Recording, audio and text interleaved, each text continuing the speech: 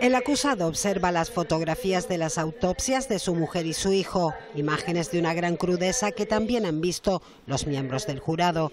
Los dos, según los forenses, murieron por los golpes que recibieron supuestamente en la cabeza, pero no fueron los únicos. Antes de esas contusiones, fueron agredidos en varias ocasiones. Yo, el traumatismo que vi era tan atroz que yo creo que la lesión es, prácticamente en el momento. Frente al perito de la defensa, que sostiene que las dolencias del acusado no son compatibles con la dureza de la agresión, los forenses consideran que las dos víctimas padecieron un gran sufrimiento tanto físico como psíquico.